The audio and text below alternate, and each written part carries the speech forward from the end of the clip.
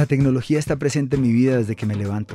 La virtualidad me permite estudiar y tener espacios de socialización. José Manuel Redondo, estudiante de psicología.